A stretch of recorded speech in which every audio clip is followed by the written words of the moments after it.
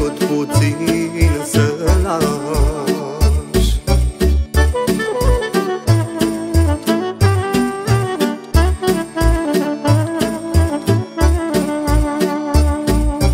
Dar oamenii din cetate Dar oamenii din cetate